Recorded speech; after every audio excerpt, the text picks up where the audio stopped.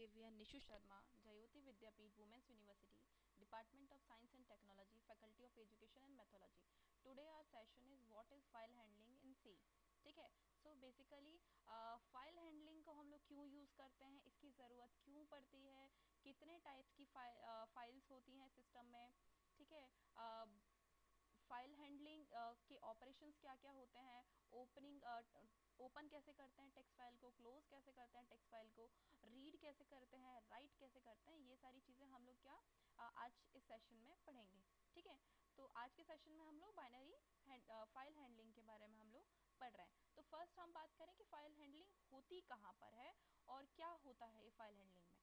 तो जैसे कि हम लोग बात करें फ़ाइल हैंडलिंग में हम लोग क्या करते हैं डेटा को सेकेंडरी स्टोरेज डिवाइस में क्या करते हैं परमानेंट स्टोर करवाते हैं। सेकेंडरी स्टोरेज डिवाइस मतलब हार्ड डिस्क तो हम लोग क्या करते हैं फ़ाइल हैंडलिंग में डेटा को हम लोग हार्ड डिस्क में परमानेंटली स्टोर करते हैं, ठीक है?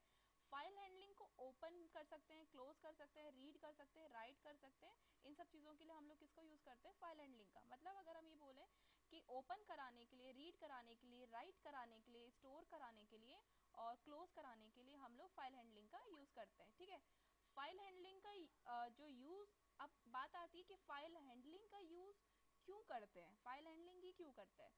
तो एक चीज़ बताते हैं कि जब प्रोग्रामर अपना प्रोग्राम को बंद करता है, तब प्रोग्राम का सारा डेटा जो होता है वो क्या हो जाता है? डिस्ट्रॉय हो जाता है। तो उस टाइम में हम लोग क्या करते हैं? प्रोग्राम में डेटा स्टोर कराने के लिए प्रोग्रामर जो होता है, वो कुछ वेरिएबल्स का, कुछ एरे का, कुछ स्ट्रक्चर का, कुछ यूनियंस का क्या करता है? यूज़ करता है।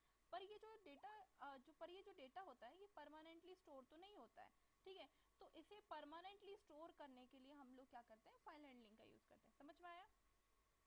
देखो, हम लोग क्या कर रहे हैं कि जब प्रोग्रामर प्रोग्राम को बंद करता है तो उसका जितना भी डेटा होता है, वो क्या हो जाता है? डिस्ट्रॉय होता है डिलीट हो जाता है। तो उस प्रोग्राम में उस डेटा को स्टोर कराने के लिए प्रोग्रामर कुछ वेरिएबल्स का एरे का स्ट्रक्चर का यूनियंस का मतलब बहुत सारी चीज़ों का क्या करता है? यूज़ करता है। पर जितना भी वो इन चीज़ों को लेता है वेरिएबल्स को लेता है एरे को लेता है, ये परमानेंटली डेटा में स्टोर नहीं होता है। तो उसको परमानेंट स्टोर कराने के लिए हम लोग फ़ाइल हैंडलिंग का यूज़ करते हैं। क्लियर है? तो फ़ाइल हैंडलिंग के फ़ाइल हैंडलिंग के टाइम ड्यूरेशन में जब हमारी कुछ फाइल्स क्रिएट हो जाती हैं चाहे वो डिफरेंट डिफरेंट टाइप्स की क्यों ना हो चाहे वो डॉट टेक्स्ट फ़ाइल की हो चाहे वो डॉक टाइप की हो या चाहे वो एक्सेल की हो या जो भी जिस भी आ, जिस भी टाइप की वो फ़ाइल क्रिएट हुई है फ़ाइल हैंडलिंग के ड्यूरेशन में वो सब क्या हो जाती हैं? पोर्टेबल हो जाती हैं। क्लियर है? तो अगर हम और ये जो पोर्टेबल फ़ाइल होती हैं वो हम किसी भी ऐसा नहीं है कि हम जिस सिस्टम पे काम कर रहे हैं सिर्फ़ उसी सिस्टम पे वो करेंगी। नहीं। जितने भी फाइल्स हैं वो सारे क्या होती हैं? उस कंप्यूटर में भी यूज़ हो सकती हैं और उसके अलावा जितने भी कंप्यूटर्स हैं, उन सारे कंप्यूटर्स में क्या होता है, वो यूज़ हो जाती हैं। क्लियर है? अब फ़ाइल हैंडलिंग के कुछ ऑपरेशंस होते हैं। जैसे कि अभी हमने बात करा था कि फ़ाइल हैंडलिंग में कुछ ऑपरेशन होते हैं। अब वो फ़ाइल हैंडलिंग के जो ऑपरेशन है, वो हम लोग कहाँ यूज़ करते हैं? S T D I dot H जो हमारी हेडर फ़ाइल होती है ना, उसके अंदर हम लोग इसको इंक्लूड कराते हैं। ठीक है? फ़ाइल ऑपरेशन और फ़ंक्शन जैसे कि हमने कल प्रीवियस क्लास में भी हमने बात किया था। F open F close F print F scan ये सब हमारे क्या है? फ़ाइल के ऑपरेशन है, जिसके आगे हम open close print scan get C H port seek इनके आगे अगर हम एफ़ जोड़ देते हैं एफ़ को ऐड करते हैं तो ये सब हमारे क्या हो जाते हैं? फ़ाइल के ऑपरेशन हो जाते हैं, उनके फ़ंक्शन हो जाते हैं। अब इनका डिस्क्रिप्शन की अगर हम बात करें कि एफ़ ओपन को हम लोग क्यों यूज़ करते हैं? फ़ाइल को क्रिएट करने के लिए और ओपन करने के लिए। एफ़ क्लोज को हम लोग क्यों यूज़ करते हैं? ओपन की हुई किसी भी फ़ाइल को हम क्लोज कर सके। एफ़ प्रिंट मतलब फ़ाइल में जो भी डेटा लिखा होगा, उसको हम राइट करने के लिए एफ़ स्कैन का हम लोग क्यों यूज़ करते हैं? फ़ाइल में डेटा को रीड किया जाने के लिए। ठीक है? एफ़ गेट हम लोग क्यों करते हैं? फ़ाइल में जो भी कैरेक्टर हैं, उनको रीड कैसे होता है, उसके लिए। एफ़ पुट हम लोग फ़ाइल में कैरेक्टर को राइट किया जाता है। तो ये सारी चीज़ें हम लोग क्यों यूज़ करते हैं? ठीक है? अब हम लोग यहाँ स्क्रीन पर आते हैं। स्क्रीन पर देखिए, हम लोगों ने यहाँ बात किया कि व्हाट इज़ फ़ाइल हैंडलिंग तो आपको समझ में आ गई फ़ाइल हैंडलिंग में हम लोग क्या कर रहे हैं? डेटा को परमानेंटली स्टोर कराने के लिए, उसमें कुछ जगह डिस्क में देने के लिए हम लोग इस फ़ाइल हैंडलिंग का यूज़ करते हैं। ठीक है? अब इसकी ज़रूरत क्यों पड़ी? हमने अभी बात किया था किसकी ज़रूरत क्यों पड़ रही है हमको डेटा को री रीयूज़ कराने के लिए लार्ज स्टोरेज कैपेसिटी के लिए टाइम को सेव कराने के लिए, उसकी पोर्टेबिलिटी के लिए, ठीक है? अब डिफरेंट टाइप्स टाइप्स कौन कौन से होते हैं, कहाँ कहाँ हम लोग यूज़ करते हैं? मैंने जैसे भी आपको बताया था कि डॉट टेक्स्ट फाइल्स भी हो सकती हैं, हमारी बाइनरी फाइल्स भी हो सकती है, हमारी डॉग फाइल्स भी हो सकती है, हमारी तो ये सब चीज़ें में हम लोग इसको यूज़ करते हैं, ठीक है? अब फोर्थ हमने बात की है कि फ़ाइल हैंडलिंग ऑपरेशंस क्या क्या होते हैं। तो फ़ाइल हैंडलिंग ऑपरेशन जैसे अभी हमने बात किया था एफ़ ओपन होता है एफ़ क्लोज होता है गेट सी होता है पुट सी होता है स्कैन एफ़ होता है प्रिंट एफ़ होता है get W put W F seek F tell rewind तो ये सब चीज़ें हम, इनके आगे हम लोग फ़र्स्ट हम लोग क्या नोटेशन क्या यूज़ कर देंगे? एफ़ यूज़ कर लेंगे। तो ये सब चीज़ें हमारी क्या हो गई? फ़ाइल हैंडलिंग के ऑपरेशन हो गए। ठीक है? अब हमको क्या याद रखना is important to note that a file type pointer needs to be declared when working with files हमको ये सारे ऑपरेशन यूज़ करने से पहले हमको फ़ाइल टाइप का पॉइंटर यूज़ करना पड़ेगा। ये हमने प्रीवियस क्लास में भी कल हम लोगों ने डिस्कस किया था। तो हम उसको किस तरीके से लिखेंगे? फ़ाइल पॉइंटर एफ़ पॉइंटर ठीक है?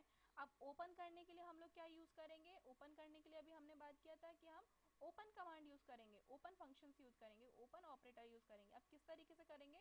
देखिए, हम लोग यूज़ करेंगे pointer F pointer equals to file pointer F open हम किसको ओपन करना चाह रहे हैं? सपोज़ मैंने दिया है कॉन्स्ट है मेरा कैर फ़ाइल का जो भी नेम है और कॉन्स्ट कैर और उसका मोड ठीक है? अब एक एग्जांपल के थ्रू अगर हम देखेंगे अब इसको तो पहले सबसे पहले देखेंगे एफ़ पॉइंटर का मतलब क्या है कि pointer to the file that establish a connection between the file and the program file और प्रोग्राम के बीच में कनेक्शन को इस्टेब्लिश करने के लिए हम एफ़ पॉइंटर का यूज़ करते हैं। पॉइंटर फ़ाइल नेम का हम लोग यूज़ करते हैं किसके लिए? कि फ़ाइल का जो नेम है, वो क्या है, मुझे फाइंड करना है या मुझे देना है तो हम लोग फ़ाइल अंडर नेम के थ्रू दे सकते हैं।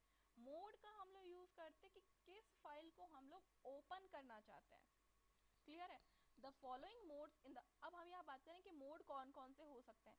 तो देखिए, बहुत सारे हम लोग मोड की अगर बात करें तो R W A R plus W plus A plus R B तो ये सब चीज़ें क्या होते हैं कि हम अगर टेक्स्ट फ़ाइल को रीडिंग मोड पे ओपन करना चाहते हैं देन राइटिंग मोड पे करना चाहते हैं देन डब्ल्यू ठीक है अपेंड मोड पे करना चाहते हैं देन ए ठीक है रीडिंग और राइटिंग दोनों पे करना चाहते हैं तो आर प्लस टेक्स्ट फ़ाइल हम बोथ रीडिंग एंड राइटिंग करना चाहते हैं तो डब्ल्यू प्लस ठीक है? या अपेंड करना चाहते हैं रीड और राइट दोनों को तो ए प्लस और अगर हम बाइनरी फ़ाइल को रीड मोड पर पढ़ना चाहते हैं तो आर बी इस तरीके से हमारे ये मोड होते हैं, ठीक है? इन्हें हम लोग मोड पे यूज़ करते हैं, ठीक है? अब क्लोज अगर मुझे करना है तो हम लोग क्या करेंगे? पॉइंट क्या यूज़ करेंगे? इंट एफ़ क्लोज ब्रैकेट में फ़ाइल इनटू एफ़ पॉइंटर ये तो याद कर लो, समझ लो इसको कि file in file pointer F pointer से हम लोग उसको डिनोट करेंगे ठीक है? और सेवन्थ हमारा जो लास्ट है कि हम लोग रीड और राइट कराने के लिए कौन सी टेक्स्ट फ़ाइल का यूज़ करेंगे? तो हमें पता है कि थ्री टाइप्स की स्ट्रीम्स होती हैं इनपुट स्ट्रीम आउटपुट स्ट्रीम या इनपुट आउटपुट स्ट्रीम इससे हम लोग क्या करेंगे कि इनपुट और आउटपुट ऑपरेशन हमें आ, उस फ़ाइल में हेल्प मिल जाएगी कि हमको कौन सा फ़ाइल को रीड करना है और कौन से फ़ाइल को हमें राइट कराना है। तो इसके लिए हम इनपुट और आउटपुट ऑपरेशन को फ़ाइल में यूज़ करते हैं। आई होप आपको इस वीडियो में क्लियर हुआ होगा। If you have any query any doubt then message me on the comment box thank you for watching this session is powered by digital version 2.0 Jyoti Vidyapeeth women's university thank you